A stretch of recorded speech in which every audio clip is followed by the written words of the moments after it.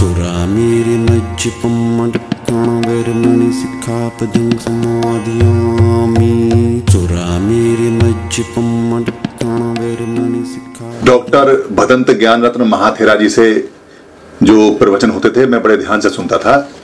एक बार किसी ने उनसे पसंद किया कि ये जो पाँच हज़ार का जो हम चक्र बोलते हैं कि एक बुद्ध का जो धम का चक्र है, वो पाँच हज़ार साल का होता है। इसका क्या मतलब है? ये पाँच हज़ार साल का चक्र क्या है समस्या? तो उन्होंने जो जवाब बताया, वो मैं आपको बता देता हूँ। उन्होंने कहा कि किसी बुद्ध में जब कोई बुद्ध आते हैं तो जब उनको बोधि प्राप्त होती है तो वहाँ से 500 साल तक 500 ईयर तक अगर भिक्कुड़ी भिक्खु और भिक्कुणी का अगर संघ बना है, यानी कि अगर खाली भिक्खु संघ बना है तो हज़ार साल तक असर रहेगा उसका, और अगर भिक्कुड़ी संघ भी बना है तो 500 साल तक असर रहेगा। क्या असर रहेगा?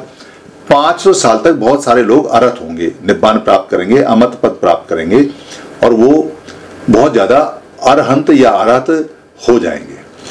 और 500 साल के बाद अगर भिक्खुणी संघ और भिक्खु संघ दोनों हैं तो अगले 500 से लेकर हज़ार साल तक वो फिर अरहत कम होंगे और अनागामी ज़्यादा होंगे। अनागामी स्टेज वो है जिसमें जीवन में एक बार और ले और लेगा उसके बाद वो निब्बान को प्राप्त करेगा। और उसके बाद जो हज़ार से पंद्रह साल है यानी पाँच साल और हैं उसमें वो सगदाकामी बनेगा। सगदाकामी का मतलब है कि वो एक बार जीवन और ले सकता है ले भी सकता है नहीं भी ले सकता है फिर निब्बान को प्राप्त करेगा। और जो 1500 से लेके और 2000 साल का जो गैप है उसमें वो सोतापन होगा। यानी कि वो वो धम्म को अच्छी तरह से समझ लेगा और वो निब्बान की राह पे आगे बढ़ जाएगा। और जो 2000 से लेके ढाई हज़ार साल का जो समय है, यानी 500 साल का जो अगला चक्र है, उस चक्र में लोग बातें करेंगे। धम्म को ना तो कोई सोतापन्न होगा, ना सगदागामी कोई कोई हो सकता है, मगर जनरली ये ट्रेंड नहीं रहेगा और उस समय बस धर्म की बात रहेंगे और धर्म पूरी तरह से खत्म हो जाएगा और अधम्म का रिज़ल्ट आ जाएगा, यानी अधम्म हावी हो जाएगा। और फिर अगला साइकिल स्टार्ट होगा जो इसको उठाएगा। यानी कि ढाई हज़ार साल से लेके तीन हज़ार साल तक उसमें धम्म की बहुत बातें होंगी। धम्म आगे बढ़ेगा, सारे लोग धम्म को जानेंगे, सीखेंगे। और उसके बाद फिर तीन हज़ार साल से लेके और साढ़े तीन हज़ार साल तक फिर लोग सोतापन्न होंगे, यानी उल्टा चलेगा। और साढ़े तीन हज़ार साल से लेके चार हज़ार साल तक फिर उसमें सगदा कामी होंगे।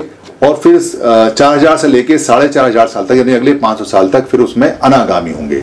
और फिर ऐसे ही अगले साढ़े चार हज़ार साल से लेके पाँच हज़ार साल तक उसमें निब्बान को प्राप्त करेंगे और फिर एक नया बुद्ध आएगा, जिसको मैत्री बुद्ध करके बोलते हैं कुछ लोग कि मैत्री बुद्ध आएँगे। ये चक्र उन्होंने बताया, यानी कि जैसे जैसे जैसे धम्म का पतन होता है, यानी मनुष्य धर्म को मानना बंद कर देता है धर्म का पतन तो कभी नहीं होता, यानी कि लोगों का जैसे जैसे पतन होना शुरू होगा, लोगों का पाप कर्म बढ़ना शुरू होगा और पुण्य कर्म कम होना शुरू होगा ये ढाई हज़ार साल तक चलेगा और फिर ढाई हज़ार साल के बाद में पुण्य कर्म बढ़ना शुरू होगा और पाप कर्म धीरे धीरे कम होना शुरू होगा। इसको चक्र बोलते हैं। तो 1956 में, यानी कि उन्नीस में, इसको 2500 साल हो गए। यानी कि जो पहला चक्र था, वो पूरा खत्म हो गया। अब पाप कर्म जो है, वो अपने पीक पर है। तो फिर इसको ऊपर चढ़ाने के लिए, यानी पाप को कम करने के लिए और पुण्य कर्म आने के लिए, धम्म को दोबारा से भारत में आ गया। तो भगवान बुद्ध का जो धम्म था, उसको बाबा साहब डॉक्टर अंबेडकर लेके आए।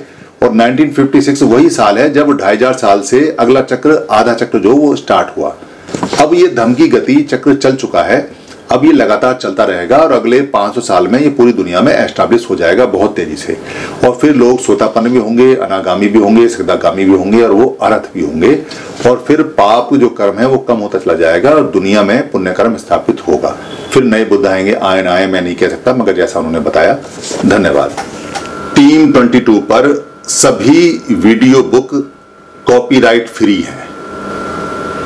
आप अपने पोर्टल पर, अपने यूट्यूब पर, अपने फेसबुक पर या किसी भी, जो भी ऐप है, उस पर आप यहाँ से डाउनलोड कर कर, टीम 22 से या फेसबुक से या मेरे पेज से कहीं से भी कोई भी वीडियो ले सकते हैं, उसको डाउनलोड कर सकते हैं, उसमें अपने नाम का कुछ भी ऐड कर सकते हैं या अपनी कमेंट्री कर सकते हैं। उस वीडियो का कोई भी पार्ट आप ले सकते हैं, उसका प्रिंट मटेरियल भी बना सकते हैं। उसको किसी भी भाषा में आप बदल सकते हैं, उसका ऑडियो चेंज कर सकते हैं, उसका वीडियो ले सकते हैं। आप जैसे भी चाहें टीम 22 की किसी भी वीडियो का या सारी वीडियो का इस्तेमाल कर सकते हैं। ये हमेशा कॉपीराइट फ्री थी और हमेशा कॉपीराइट फ्री रहेंगी। हमारा सिर्फ़ इतना काम होता है कि महापुरुषों की जो बातें हैं, उन बातों को हम सरल भाषा में आम भाषा में आप तक पहुँचा देते हैं। अब आगे आपका काम है कि आप अपनी भाषा में बदल के या ऐसा का ऐसा शेयर करके या इसको आगे भेजकर या इसका लिंक भेजकर या इसमें से कोई भाषा बदलकर या इसको प्रिंट कर कर या इसको लोड कर कर या डाउनलोड कर कर या इसको टीवी में बच्चों को दिखाकर या किसी को गिफ्ट कर कर जैसे भी चाहे वैसे इसको आगे पहुंचाएँ। धम्म की सेवा सबसे बड़ी सेवा है क्योंकि धम्म दान धम्म को देना सभी देने में, यानी जितना भी हम किसी को देते हैं, दान देते हैं, उनमें सबसे बड़ा माना जाता है। अगर आपको लगता है किसी वीडियो में कोई परेशानी है तो आप हमें लिख के भेज दीजिए, हम दूसरा वीडियो बनाकर आपको भेज देंगे। आप धम की सेवा में सहायक बने, धम आपको खूब लाभ लाभ देगा। धम आपको लाभ देगा, आप धम को लाभ देंगे, ये दोनों इंटरचेंज है, यही धम की प्राकृतिक नियम है। धन्यवाद। गच्छामि।